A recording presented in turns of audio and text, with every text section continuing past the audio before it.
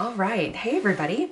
Welcome back to Pencil Stash. We are going to continue in Johanna Basford's Worlds of Wonder, and we're gonna continue coloring this page. Now, I thought that it would be really fun to kind of take each of these little bird vignettes kind of one week at a time. So this is the one that I did last week. If you missed it, I will leave it up here as well as down below in the description.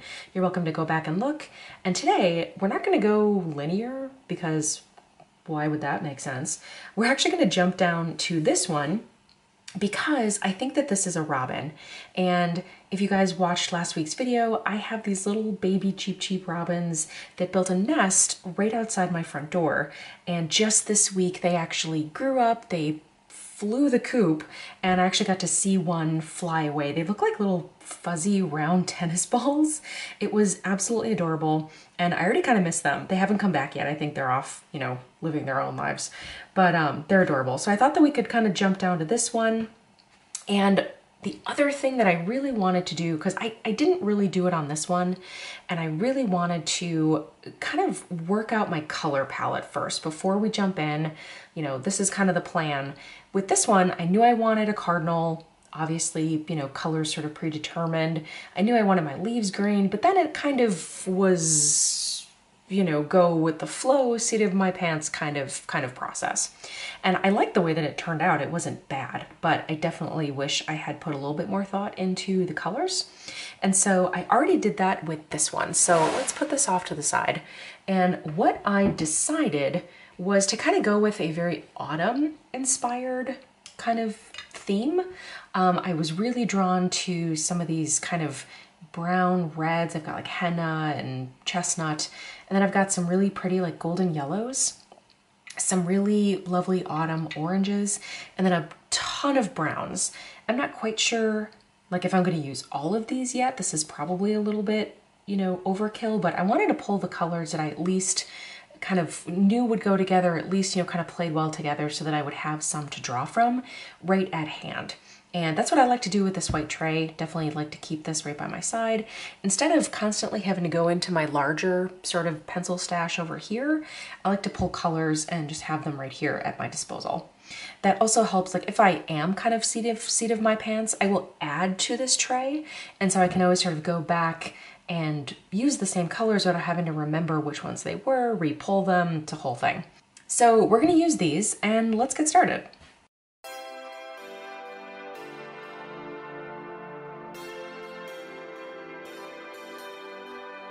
All right, so the first thing that I wanna do is the robin, just because it'll sort of predetermine everything else around him. So I really want to go very traditional. This is kind of what I did on the cardinal here. We can, you know, have some liberties and whatnot, but I definitely want to go a little bit traditional. So the first thing I did was actually pull out my iPad and I just typed Robin into Pinterest. And of course I got this, which is not what I was looking for, but this is definitely what I was looking for. Now, this is a very kind of traditional robin that I see here in the Midwest. Very, you know, dark back, very bright, kind of orangey red uh, breast. Um, but I actually saw some of these robins here. I've never seen these. These must be some, oh, it says garden robin. I don't know if I've ever seen one of those, but I think it's just beautiful. And it has a little bit of I think just like a softer color palette and I was kind of drawn to this one. So I think that this might be something that we kind of draw some inspiration from with just a little bit of this softer palette. And yeah, I'm definitely getting a lot of these. It's kind of funny because I've never seen one of those here. Must not be a Midwest thing. All right, so the actual robin here is kind of hiding a little bit of that area that will be orange, but I think we can definitely take advantage of some of the area around the eyes and then down the breast here. So let's start with, I kind of want to start with this sunburst yellow just to give a little bit of beautiful highlight before we go in and add our oranges. So I'm just going to put this in here a little bit. And again, I'm just kind of following the inspiration photo that has a little bit of this kind of golden hue. Now I've got Crayola Yellow Orange. And this one is a little bit more of a transitional color between that yellow and the orange that's very appropriately named. And I'm just going to sort of decide exactly where the edge of the orange is going to be. Oh, that's pretty. So when I actually kind of go into the yellow area a little bit, it creates a really lovely, lovely color. This is what I love about layering. Like I don't just have, you know, the Prismacolor set available to me or the Crayola color set to me. I have kind of the infinite, you know, rainbow of colors that you can get from layering. And it just creates something entirely new. And it's a lot of fun to experiment with. And I'm gonna leave this a little bit erratic here at the edges just because that is very much how the feathers kind of end on our actual robin. And then we'll kind of transition that out. All right, let's go into a little bit deeper of an orange. I like this pale vermilion color. Let's see. Maybe around his face a little bit. I'm kind of just following the, the uh, inspiration photo in terms of like placement of like lighter colors, darker colors. And instead of using my typical kind of curlicue brush strokes, I'm actually trying to use uh, like um, really straight back and forth just to kind of mimic a little bit of that um, feathery texture. All right, well, we're not gonna use this one because this one is not cooperating. Um, what I might do is maybe add just a little bit of this henna color.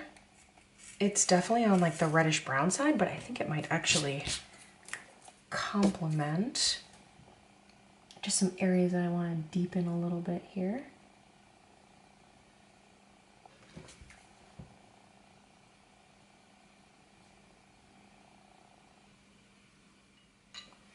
Go in with cadmium orange hue.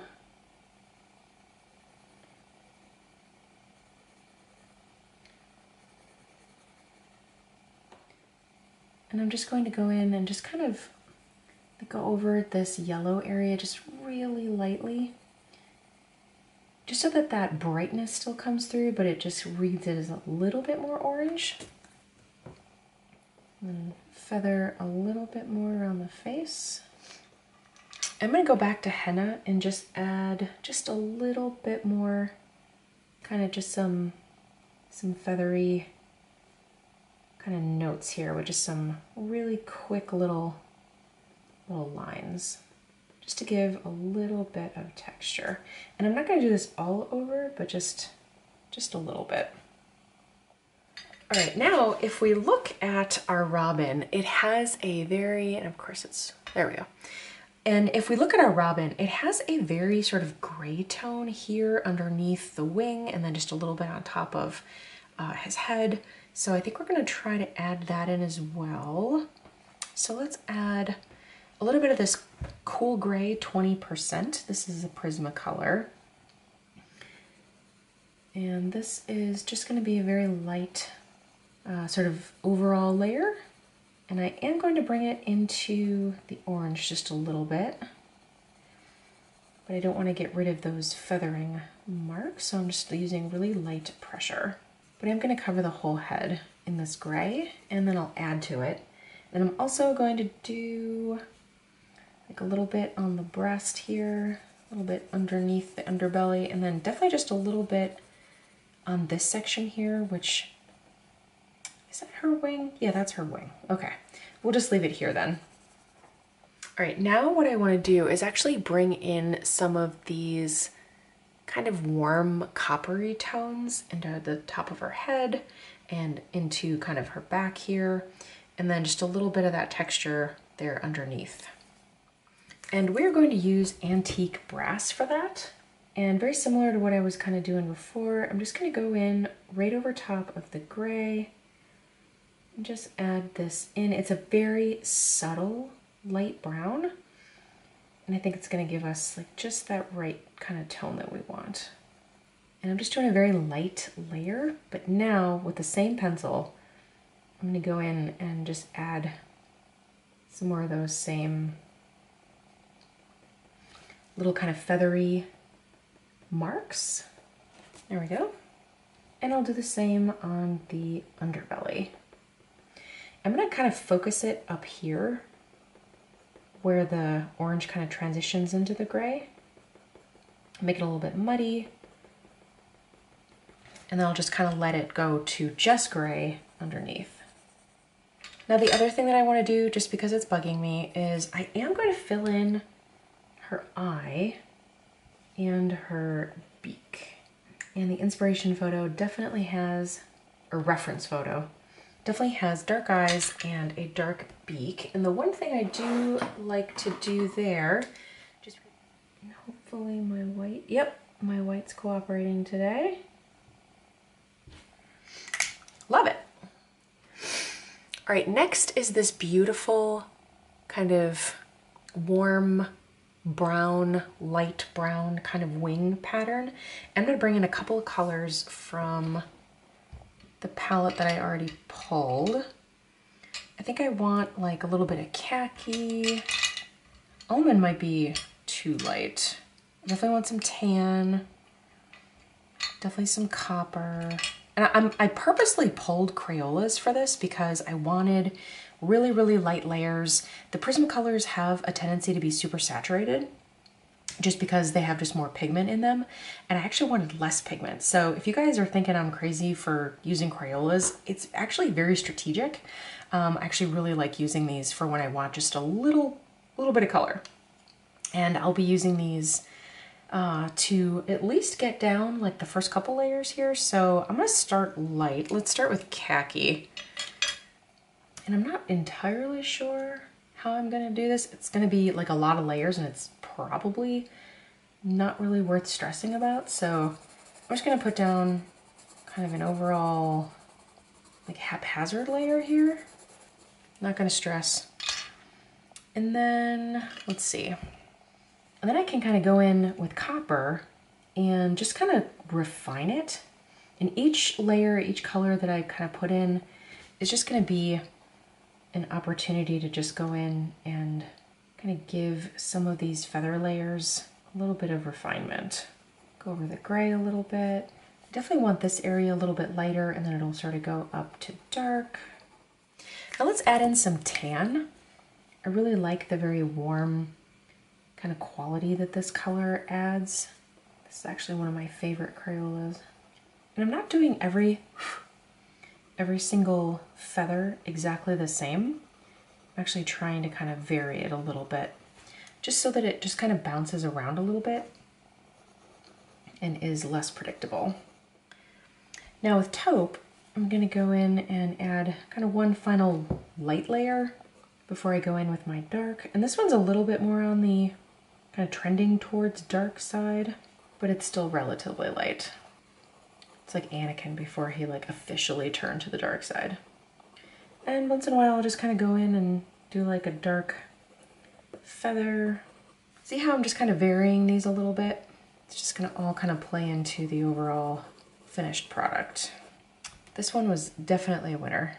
All right, now I just want to go in with a dark browns and a light brown. Maybe I'll do light brown just because her wings are still super light and I definitely want to keep that, but I do want to add in just a little bit of kind of varied, like deeper tones. So I'll start with this and kind of see where it takes me and then if I need to, I can bring in the, the darker ones. All right, that got us about 90% of the way there, but now I'm gonna use dark brown just to add just a little bit of deeper, darker color in just a couple of places. And I'm still gonna try to add some of those like little feathery kind of, I keep calling them brush strokes, but pencil strokes, just to uh, still give the illusion that our bird has feathers. I'm actually using very light pressure, but I am trying to just keep a nice kind of firm point there we go. I like how that tail came out. And then I'm just gonna sort of have them kind of trail off a little bit. All right. I love that. That's good. Okay, I'm very, very happy with that. So let's call her done for now. And I definitely want to move into the leaves. And I kind of want those to be very autumn inspired, like very kind of these like yellowy oranges and browns. And then I think I want to do these little berries in maybe some of these like hennas and like maybe a little bit of like raspberry reds. I think that'll look pretty. Oh, and I already added some right there. um, let's see here. So let's start with that then, since I already started. And I'm gonna use peach, and I'm just going to put just a little bit of this color kind of into like a highlighty kind of spot here. And then I'll use henna to build around it. And I did a fairly large area and I like to start large with that highlight and then add around it so that I can move into that space and sort of kind of shrink it a little bit as I go. And it helps to blend. And I'm using a little bit of like varied pressure here, like some light, some dark. And I'm just doing that in order to get a little bit of a different color as we move towards that highlight. That looks great. Perfect. And then I might even go back in with peach and just go right over that. All right, these came out really nice and I just want to go in with a little bit of this chestnut color just along some of these edges just to maybe drive home some shadows. That works. It didn't need too much. All right, now I want to jump to the leaves and I think just to simplify things a little bit, I think I want to use the majority of my time with maybe some of these yellows and then some of the kind of more like coppery autumny browns, just so that our robin can kind of maintain this like orange beautifulness. I don't want to compete too much with it. So I'm not going to do every single, oh, the other thing, hang on, hang on one second. I forgot. I want to do the same thing that I did last time where I just kind of poke some of these leaves out beyond the frame. There aren't really too many opportunities to do that, maybe just with this one here at the top. So I'm gonna do that. So then I'll go in with my Sharpie to mimic the line weight. And I'm also just gonna connect some more of these dots to make it look like it was intentional. And then to just get rid of a little bit of that pencil, the Sharpie is dry and I'm just going to erase the pencil. It's like it was never there. All right, now let's get back to yellows. And this one is yellow ochre Prismacolor. And let's do this little guy.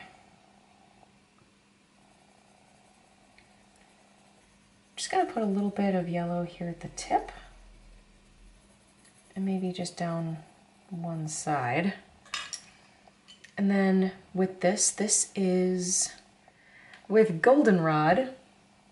I'll just create a little bit of overlap, a little bit of edging, and I'm going very light because actually these two are not similar. I mean, I mean they're similar, but there's actually a lot more difference in the tone here than I anticipated. So I'm just going to go very lightly over that. And then I think I'm gonna take the light brown and very lightly just go over the rest of this. And this is just kind of the base, the base coat. Then with dark brown, I can go in and just edge this out a little bit.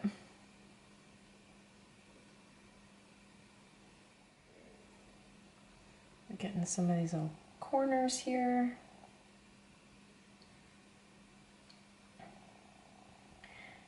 And with this, I'm just using very light pressure. And then, let's see, I'm gonna use the light ochre again and just sort of help some of these areas out. And then with this copper color, help to blend some of these areas at the bottom. And then with beaver, just gonna kind of highlight the veins here just a little bit. And I also like leaves when they are a little bit imperfect. So I'm just gonna put some little dots in the areas that are yellow. Okay, that's good. I don't want to torture it too much. But then I will do a very similar technique on the rest.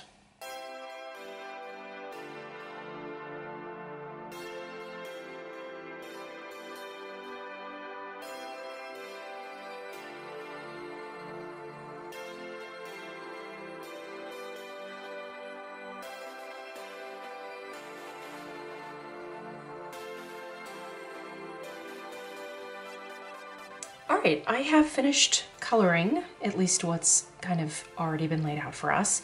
And now I would like to do something in the background. And I don't just wanna do just like a plain uh, color. I kinda wanna do maybe some stripes at an angle in like varying widths. And I think I wanna use gray. So I actually have a little ruler and I worry that if I do it this way, it will kind of interfere with the tail. So I think I might go this way just for a little bit of visual interest. And I am going to use the color that I intend to use, but I'm going to do, and I am going to just do some lines. And I, again, I don't want to just make them the width of the colored pencil. I'm going to actually fill in some of these spaces.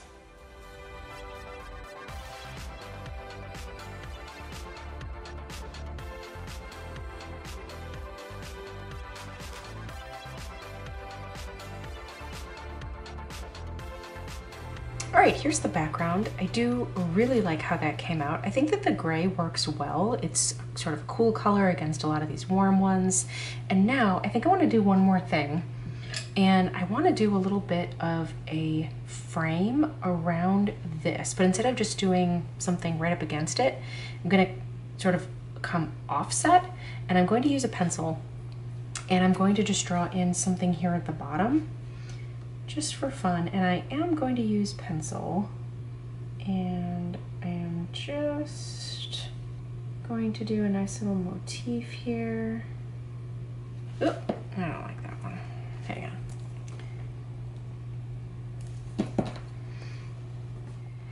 And instead of a solid line around it, I think I'm going to do a dashed line. And I'm going to try to just sort of attach these here and just maintain sort of an equidistant circumference around the edge. And the nice thing about doing this in pencil, because I know I'm going to erase it, but the nice thing about doing this in pencil is that when I go back in with the fine liner, I will actually be able to just sort of fix some of these little errors. This is really kind of a guideline in order to give myself something to follow, almost like a pattern to trace. And if I don't like the line that I end up with, I just draw a different one. All right, so that is that. Now I'm gonna take my Sharpie fine liner, which is exactly what I used over here, and I'm going to draw in these little sort of petal shapes. They look like little duck feet. Um, but these little petal shapes first. See, and I changed the shape a little bit. I didn't have to follow the pencil line exactly. I was able to just use it as a guideline and I'm gonna do the same around the circle. And I'm actually going to turn this so that I am always sort of consistently, you know, at the same angle as I go.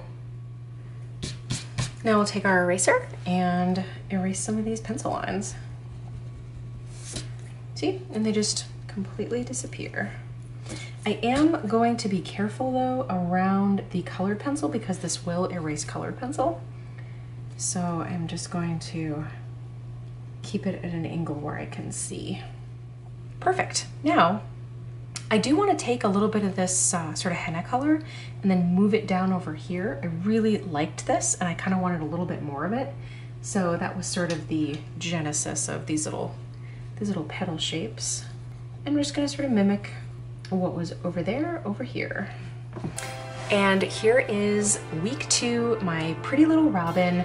I definitely like how this came out. I love the color scheme. It was definitely something that I appreciated doing kind of ahead of time.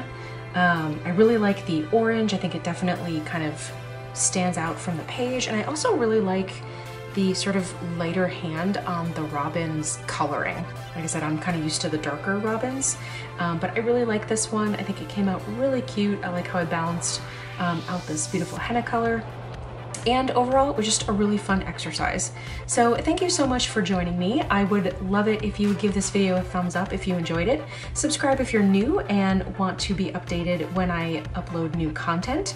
And in the meantime, happy coloring. Bye guys.